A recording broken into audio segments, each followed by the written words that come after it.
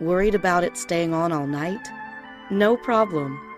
Easily set the timer for two or four hours, and it will automatically shut down. If it's too bright, you can also adjust the brightness levels.